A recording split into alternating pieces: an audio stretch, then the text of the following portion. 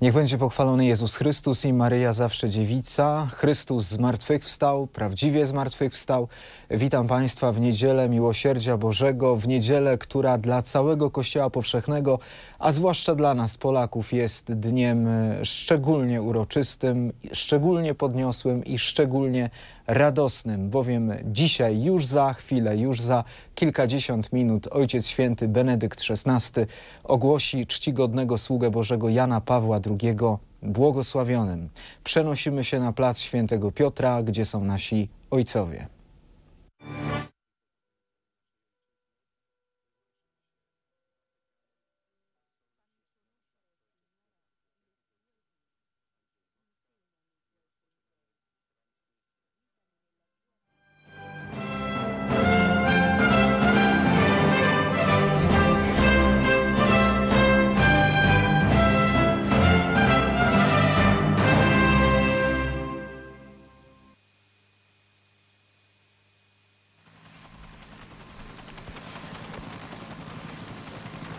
Już jesteśmy połączeni z Rzymem, ale jakoś naszych sprawozdawców nie słychać. Halo, ojcowie, jesteście?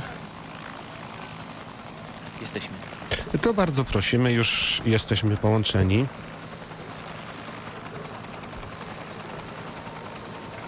Niech będzie pochwalony Jezus Chrystus i Maryja zawsze dziewica.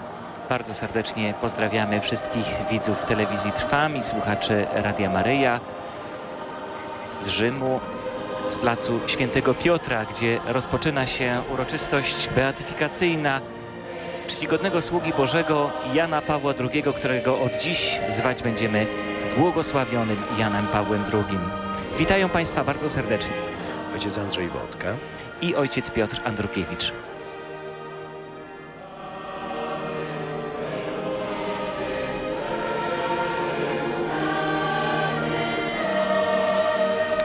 Na dzisiejszą uroczystość przybyło bardzo wiele delegacji z całego świata, również tych oficjalnych, ale tu już widzą Państwo na swoich ekranach niezwykle y, piękne obrazy z placu Świętego Piotra wypełnionego po brzegi dzisiaj pielgrzymami, także z Via Conciliazione, y, na której ustawiono wiele y, również telebimów, by pielgrzymi mogli uczestniczyć w tym wydarzeniu, śledząc je na swoich ekranach i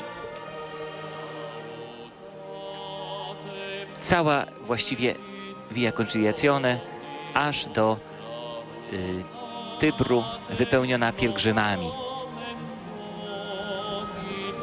W Bazylice Watykańskiej przy konfesji świętego Piotra jest już trumna z doczesnymi szczątkami Jana Pawła II, do której udamy się, którzy będą tutaj fizycznie, po ogłoszeniu go błogosławionym, po zakończeniu eucharystycznej ofiary, a sercem możemy już do niego udawać się tam e, w każdej chwili. Jak wczoraj wieczorem podczas czuwania opowiadał kardynał, krakowski kardynał Dziwisz, który asystował wyniesieniu tejże trumny z grobu, odczuwał wówczas, e, jego zdaniem, e, głębokie doświadczenie powrotu Jana Pawła II. Mówił do siebie, oto teraz wracasz do nas.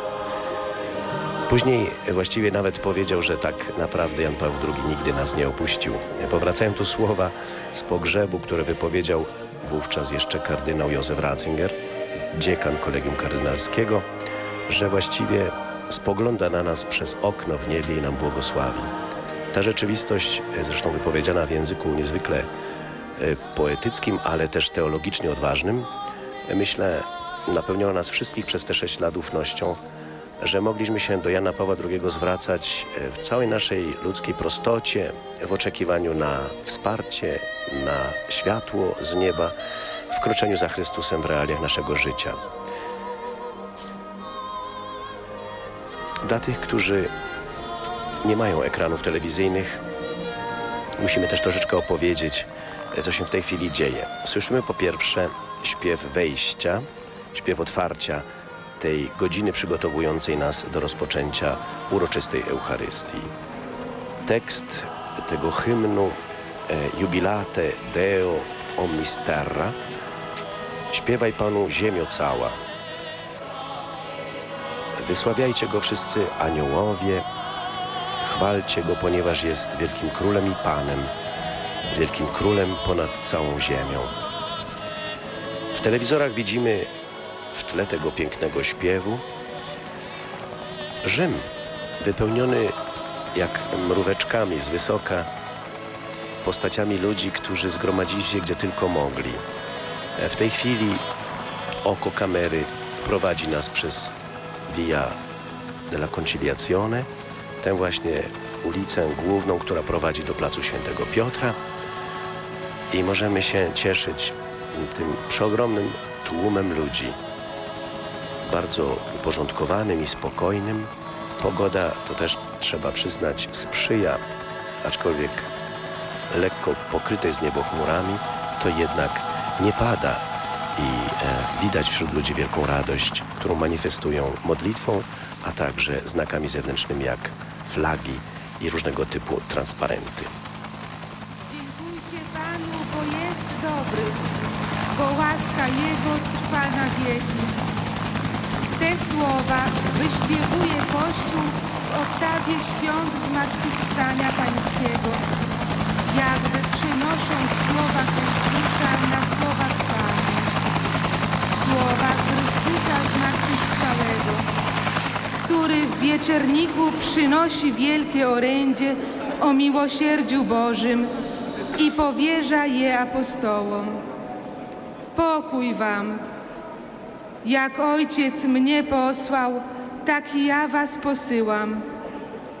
Weźmijcie Ducha Świętego, którym odpuścicie grzechy, są im odpuszczone, a którym zatrzymacie, są im zatrzymane. Przed wypowiedzeniem tych słów Jezus pokazał przebite dłonie i bok. Wskazał na rany męki, a przede wszystkim ranę serca, źródła, z którego wypływa strumień miłosierdzia dla ludzkości. Siostra Faustyna Kowalska, błogosławiona, którą od dziś wzywać będziemy jako świętą, ujrzała wychodzące z tego serca dwa promienie światła, oświetlające cały świat. Dwa promienie, wyjaśnił jej sam Jezus, oznaczają krew i wodę. Sangue ed acqua. Il A teraz pensiero corre alla W testimonianza języku włoskim dell'evangelista Giovanni, Karamazza che czyta kolejny fragment homilii Ojca Świętego wypowiedzianej podczas kanonizacji siostry Marii Faustyny Kowalskiej. Krew i woda. Na myśl przychodzi sacrificio natychmiast świadectwo ewangelisty Jana. Kiedy na Kalwarii jeden z żołnierzy przebił włócznią bok Chrystusa, Jan widział, że wypłynęła z niego krew i woda. Krew przywodzi na myśl ofiarę krzyża i dar eucharystyczny, natomiast woda jest w symbolice Janowej znakiem nie tylko chrztu, ale także daru Ducha Świętego. Poprzez serce Chrystusa ukrzyżowanego Boże miłosierdzie dociera do ludzi. Powiedz, córko moja, że jestem miłością i miłosierdziem samym. Zażąda Jezus od siostry Faustyny. To miłosierdzie Chrystus rozlewa na całą ludzkość poprzez zesłanie Ducha Świętego, który jest w Trójcy. Świętej osobą E miłością. A czyż miłosierdzie nie jest drugim imieniem miłości? ujmującym e jej aspektem najgłębszy i najbardziej wzruszający, jej gotowość do zaspokojenia wszelkich potrzeb, a zwłaszcza jej bezgraniczną zdolność przebaczania.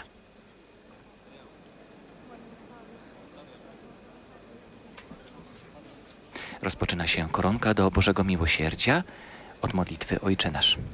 Padre nostro, che sei nei cieli, sia santificato il tuo nome, venga il tuo regno, sia fatta la tua volontà, come in cielo così in terra.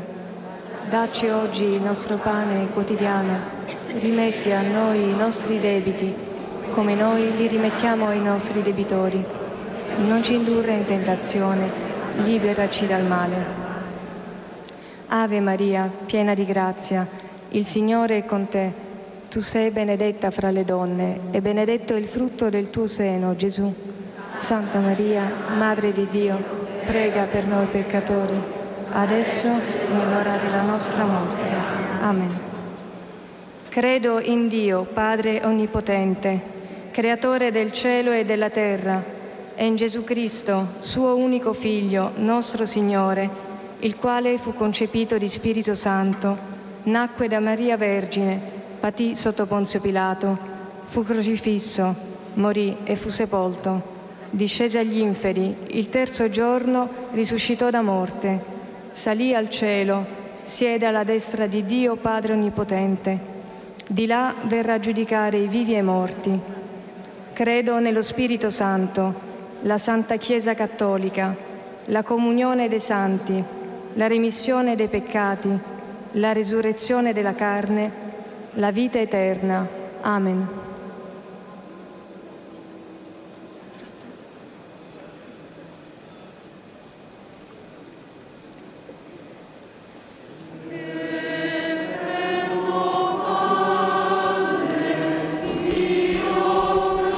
Odśpiewywane będą dziesiątki koronki do Bożego Miłosierdzia w różnych językach. W tej chwili słyszymy w języku włoskim Ojcze Przedwieczny ofiaruję Ci ciało i krew, duszę i bóstwo najmilszego Syna Twojego, a Pana naszego Jezusa Chrystusa na przebłaganie za grzechy nasze i całego świata.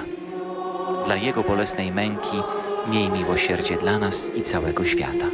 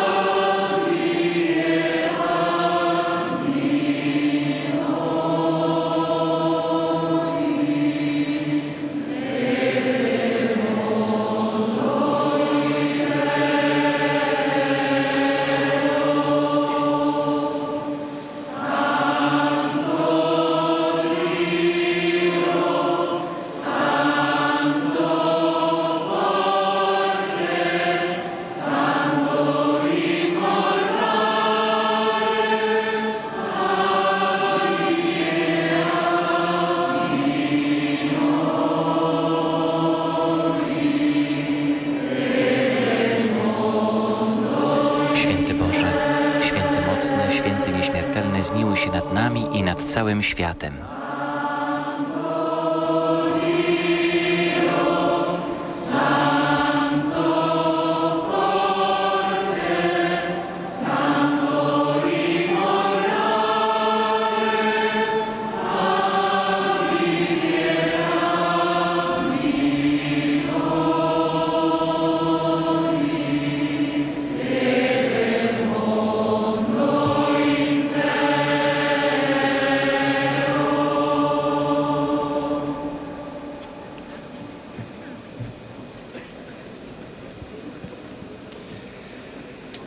Wchodzimy w drugi dziesiątek koronki, a towarzyszą nam słowa Ojca Świętego Jana Pawła II wypowiedziane z okazji kanonizacji, kanonizacji Ojca Pio z Pietrelciny.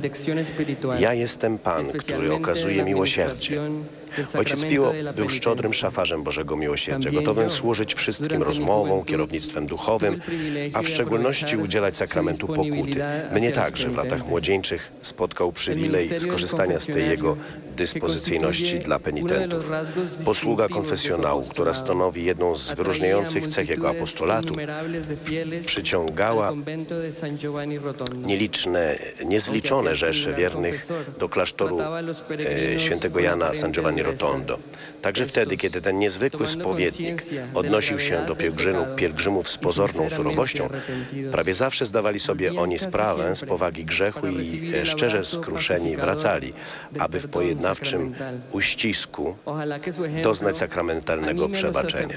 Niech jego przykład zachęca kapłanów, by z radością i wytrwale pełnili tę posługę, tak ważną również dziś, o czym wyraźnie pisałem w tegorocznym, to był rok 2002, liście do kapłanów na Wielki Czwartek.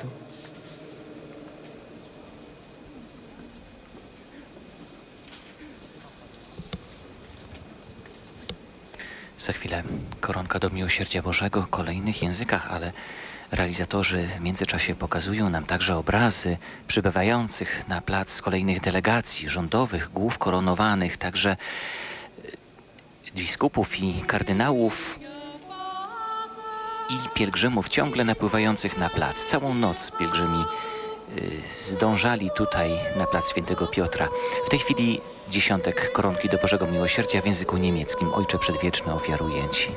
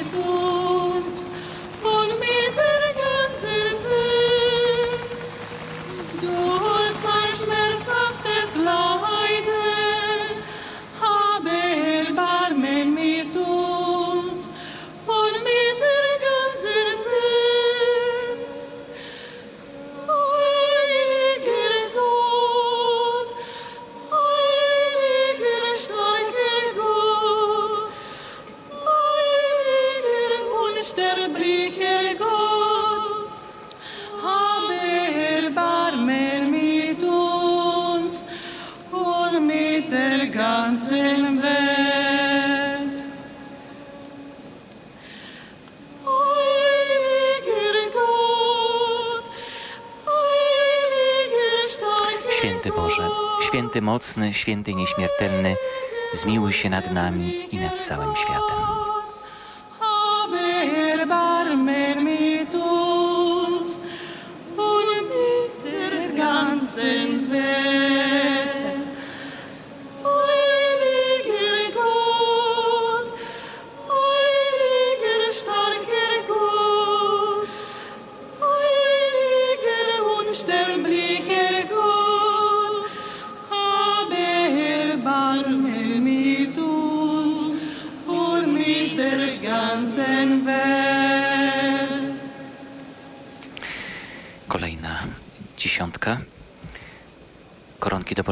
Miłosierdzia i wprowadzenie do niej Słuchamy fragmentu homilii Jana Pawła II wygłoszonej podczas Światowego Dnia Misyjnego w niedzielę 19 października 2003 roku podczas beatyfikacji Matki Teresy z Kalkuty.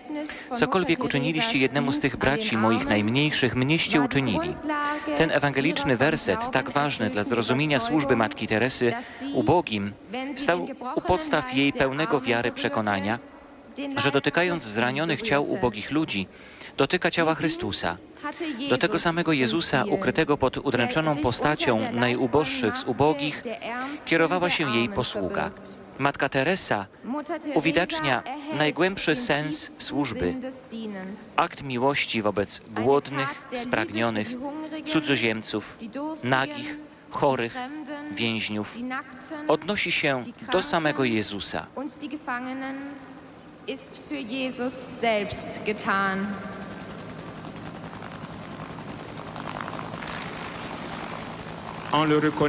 Rozpoznając go, służyła mu z całkowitym oddaniem, wyrażając subtelność swej oblubieńczej miłości.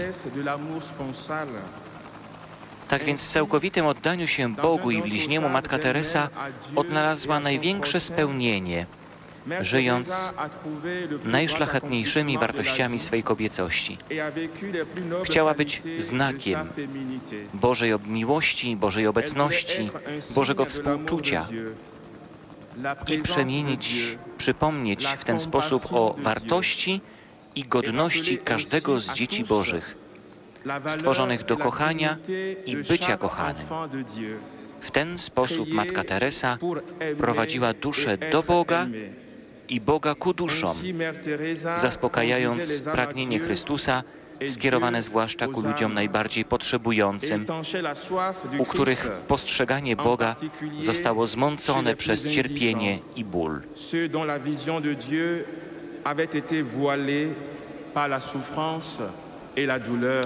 Modlimy się koronką do miłosierdzia Bożego w języku hiszpańskim. Ojcze Przedwieczny, ofiaruję Ci ciało i krew.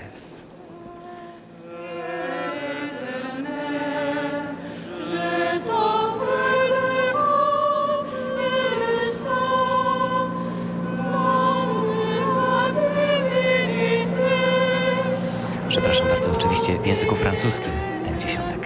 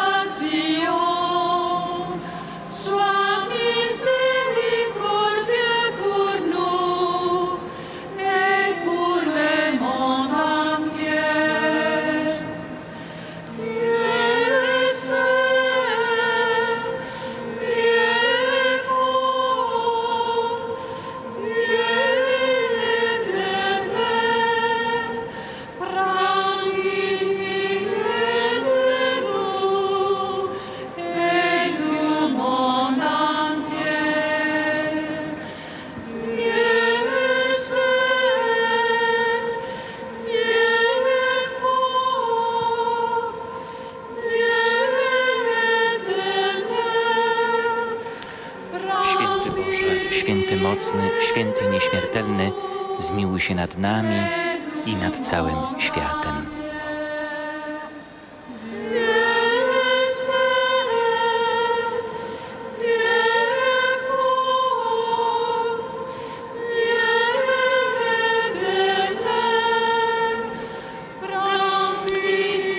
Nie przerywamy ducha modlitwy tej skądinąd przedrogiej polskiemu sercu koronki siostry Faustyny.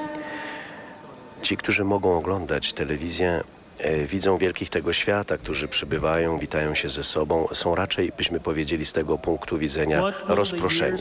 My zaś modlimy się dalej czwartym dziesiątkiem koronki.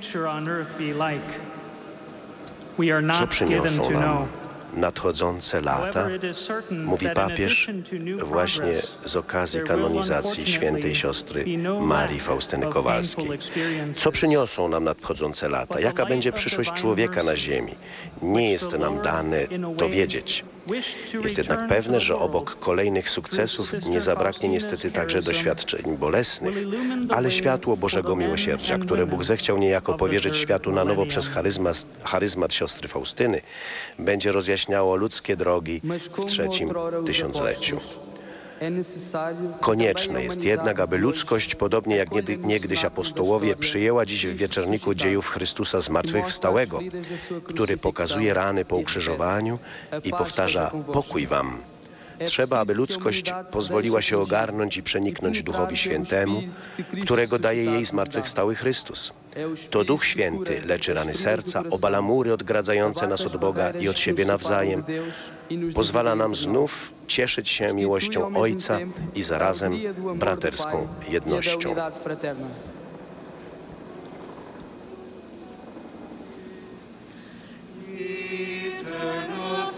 Ojcze Przedwieczny, ofiaruję Ci. Modlimy się razem z naszymi braćmi w wierze w języku angielskim.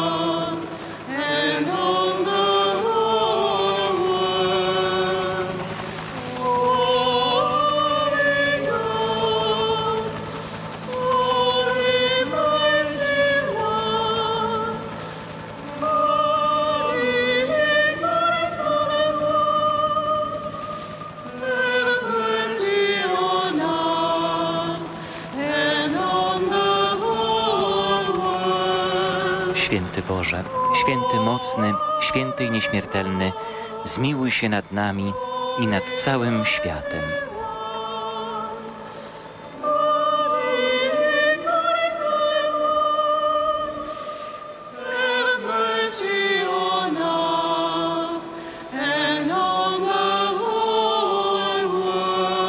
Przechodzimy do piątej dziesiątki, koronki do Bożego Miłosierdzia i wprowadzeniem do niej będą kolejne fragmenty homilii z kanonizacji siostry Faustyny Kowalskiej, więc 30 kwietnia 2000 roku. Teraz w afrykańskim języku Swahili. Kanonizacja siostry Faustyny ma szczególną wymowę. Poprzez tę kanonizację pragnę dziś przekazać orędzie miłosierdzia nowemu tysiącleciu. Przekazuję je wszystkim ludziom, aby uczyli się coraz pełniej poznawać prawdziwe oblicze Boga i prawdziwe oblicze człowieka.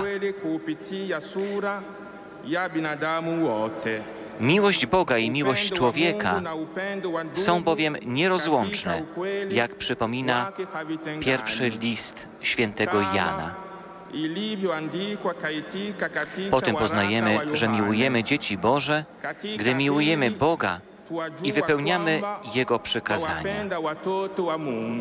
W takich słowach apostoł wyraża prawdę o miłości, wskazując, że jej miarą i kryterium jest wypełnianie przykazań.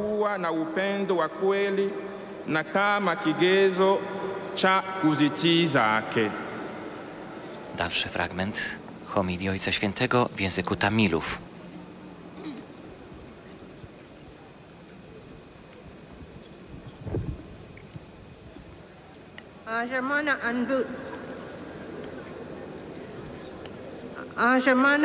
Nie jest łatwo miłować miłością głęboką, która polega na autentycznym składaniu daru z siebie. Tej miłości można nauczyć się jedynie wnikając w tajemnicę miłości Boga, wpatrując się w Niego, jednocząc się z Jego ojcowskim sercem stajemy się zdolni patrzeć na braci nowymi oczyma w postawie bezinteresowności i solidarności, hojności i przebaczenia. Tym wszystkim jest właśnie miłosierdzie. பொழுது தானம் பகிர்தல் தாளாரம் மன்னிப்பு W ஆகிய miarę tego, பண்புகளின் jak ludzkość będzie wnikać w tajemnicę tego miłosiernego spojrzenia, ideał, o jakim słyszeliśmy w dzisiejszym pierwszym czytaniu, będzie jawił się jako możliwy do spełnienia. Jeden duch i jedno serce ożywiały wszystkich wierzących. Żaden nie nazywał swoim tego, co posiadał, ale wszystko mieli wspólne. நம்பிக்கை கொண்ட மக்கள் அனைவரும் ஒரே உள்ளமும் ஒரே உயிருமாய் இருந்தனர் Tak oto miłosierdzie nadawało formę ludzkim odniesieniom, życiu wspólnoty, wyznaczało zasady podziału dóbr. Z niego wypływały uczynki miłosierdzia co do ciała i co do ducha.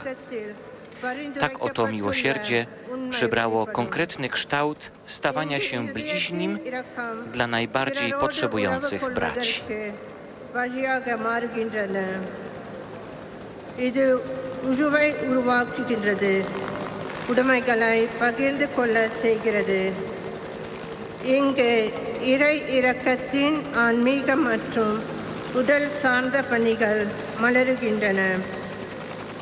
ஒருவர் மிகுந்த தேவையில் இருக்கும் ஒருவருக்கு ஆயலானாக மாறும்பொழுது இந்த இரக்கம் உண்மையானதாக மாறுகின்றன. Kolejny fragment koronki w języku polskim, a teraz Giorgio Napolitano akurat przyszedł.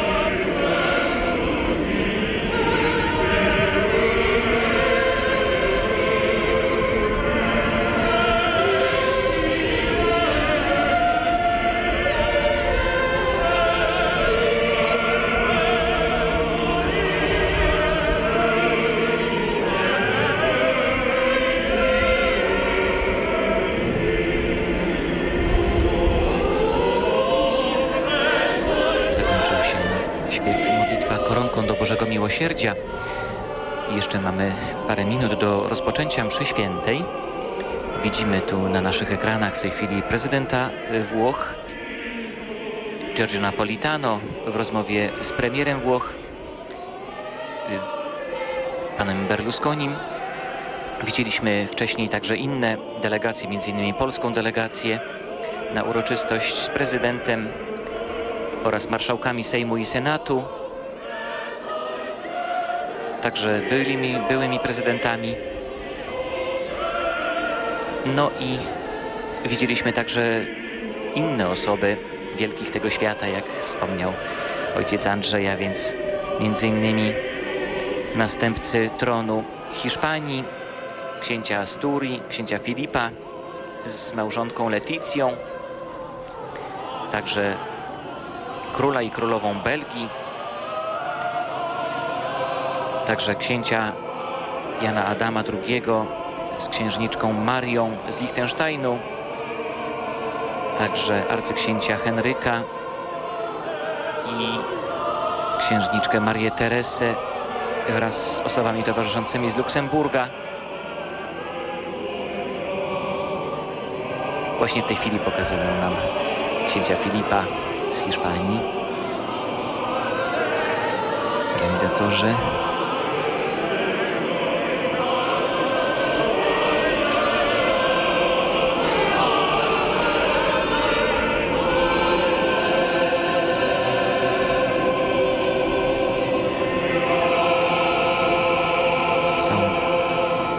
Prezydenci wielu krajów, innymi Albanii, Andory, Bośni i Hercegowini, Kamerunu, Kongo, Estonii, Hondurasu, Macedonii, Meksyku, Czarnogóry, San Marino, Słowacji, Togo i Zimbabwe, wiceprezydenci Angolii, Brazylii, Panamy i premierzy Chorwacji, Francji, Litwy, Monako, Malty, Republiki Czeskiej i Węgier. Widzieliśmy także przedstawicieli y, Rady Europejskiej Hermana Van Rompuya, a także Parlamentu Europejskiego Jerzego Buzka i Komisji Europejskiej José Manuela Barroso. Jest także wielu innych przedstawicieli życia publicznego. Ich także w tej chwili realizatorzy nam pokazują, ale chcemy wspomnieć także o tym, że dzisiejszą mszę świętą wraz z Ojcem Świętym celebrować będą obecni księża kardynałowie. Widzimy, że księża biskupi nie celebrują tej mszy świętej, także inni kapłani, a więc koncelebra ograniczy się tylko do księży kardynałów, a wraz z nimi będzie celebrował mszę świętą także, jest to jakiś specjalny przywilej, osobisty sekretarz Ojca Świętego w latach 95-2005, ksiądz arcybiskup Mieczysław Mokrzycki, arcybiskup lwowski. Procesja wejścia rozpocznie się od y, Porta di Bronzo i będzie przechodzić przez plac Świętego Piotra ku ołtarzowi przed y, bazyliką, przed frontonem bazyliki Świętego Piotra. Kielich używany przez Ojca Świętego jest to kielich, który, którego używał Jan Paweł II w ostatnich latach swojego pontyfikatu. Także mitra i ornat, które przywdzieje Ojciec Święty, zostały wykonane za czasów pontyfikatu Jana Pawła II i przez niego były często używane.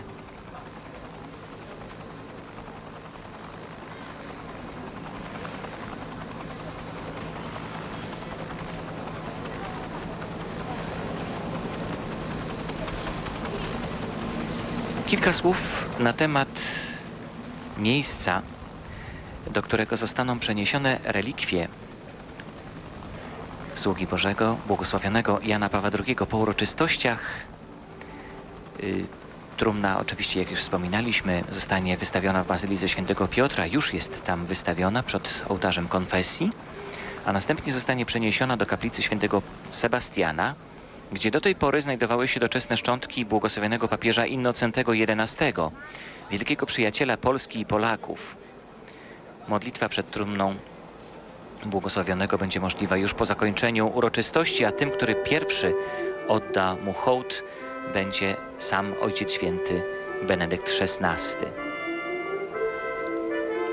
Ciało Jana Pawła II nie będzie jednak widoczne. Docelowo trumna z ciałem Jana Pawła II spocząć ma w kaplicy świętego Sebastiana.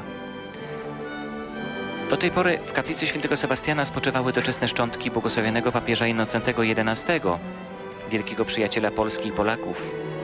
I jak przypomina ksiądz Arkadiusz Nocoń, pracownik Watykańskiej Kongregacji do Spraw Kultu Bożego i Dyscypliny Sakramentów, jako wyraz wdzięczności za zwycięską bitwę pod Wiedniem, gdy to pod wodzą króla Jana Sobieskiego wojska polsko-austriacko-niemieckie pokonały armię turecką zagrażającą chrześcijańskiej Europie, Innocenty XI nie tylko ustanowił wspomnienie Najświętszego imienia Maryi, ale także polecił wybić specjalny medal na cześć króla i przesłał Janowi Sobieskiemu miecz ceremonialny oraz kapelusz.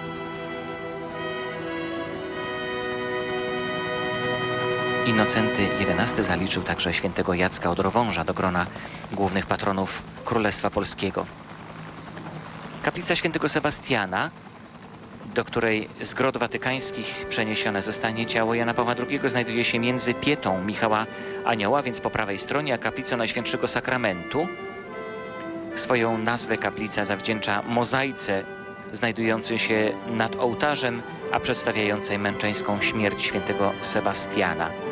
Wystrój kaplicy jest dziełem Piotra Skordomy.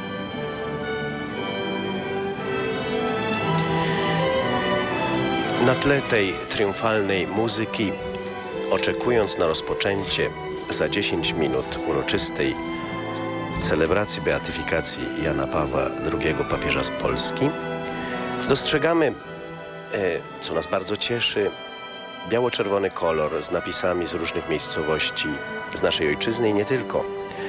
Polska rodzina jest na całym świecie i ściągnęła tu w ten dzień, myślę, kierowana podobnym impulsem jak wówczas, kiedy papież Jan Paweł II odszedł. Wówczas na placu powiewał dość zimny, porywisty, wiosenny wiatr. Dziś jest cieplej, a ludzie są e, w międzyczasie starsi i dojrzalsi. Pojawiły się nowe pokolenia, dzieciątka, które Jana Pawła II nigdy w życiu nie spotkały. Pokolenia e, ludzi różnych ras, języków, pokrojów kultury, nawet y, tych, których tu ojciec Piotr przed chwilą wymieniał, to znaczy y, głowy narodów, y, głowy królewskie, ministrzy, prezydenci, wiceprezydenci, różni delegaci. Nie wszyscy być może dzielą wiarę Jana Pawła II, ale przybyli tutaj, aby przynajmniej dać dowód na to, że uderzało ich jego dobro, które rozsiewał w sposób niesłychanie hojny, szczodry i dobry, nie bacząc na wydatki energii ludzkiej, wspierany przez Boga w tym, co czynił. E, więc e, jeśli tylko tak mogę, ponieważ jeszcze ciągle kamery nam to pokazują, to wymienię jedynie numery, cyfry. To jest ważne. Z domów królewskich, głów koronowanych mamy reprezentację pięciu królestw. Są to królestwa Europy. Mamy 16, 16 głów państw. Mamy trzech wiceprezydentów. Mamy siedmiu premierów. Mamy też pięciu prezydentów parlamentu i senatu, marszałków Sejmu i Senatu, powiedzielibyśmy po polsku, z pięciu krajów.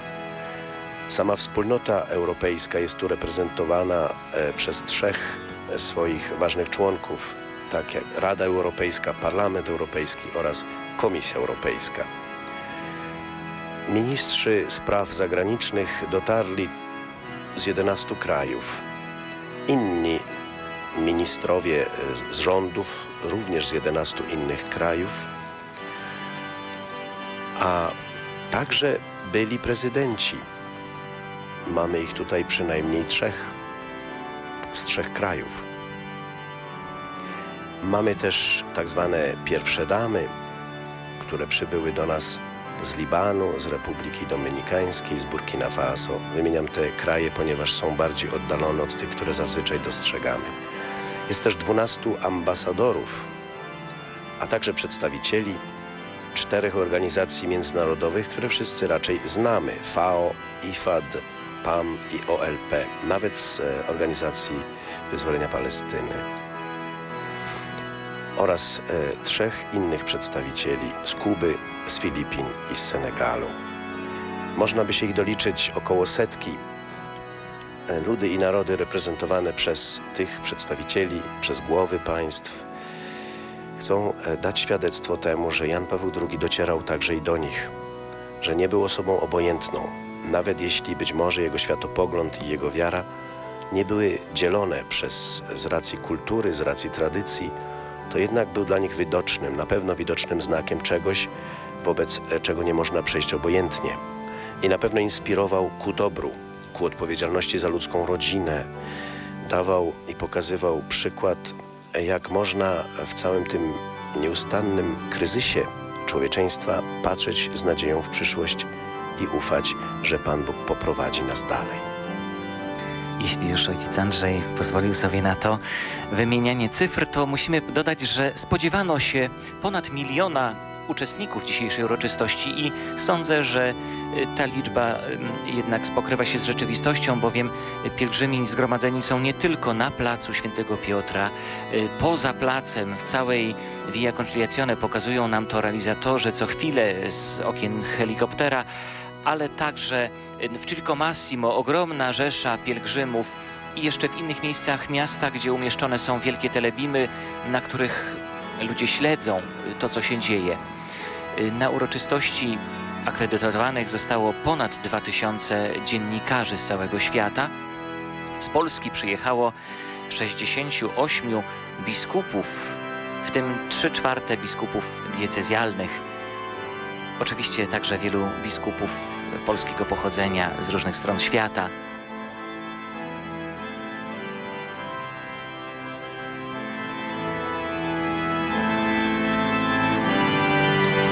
Jest to też e, bardzo użyteczny czas, kiedy e, nasze oczy oglądają perspektywy Rzymu z wysoka, z bliska, z niska, aby też przyjrzeć się temu, co być może jest dla nas takie nieraz e, złudne. Myśląc o setkach papieży, sądzimy, że być może bardzo, bardzo wielu z nich było świętymi ogłoszonymi przez Kościół. Okazuje się, i tu jest pewna korekta perspektywy, że w historii Kościoła jest powiedzielibyśmy z uśmiechem tylko 79 papieży, których ogłoszono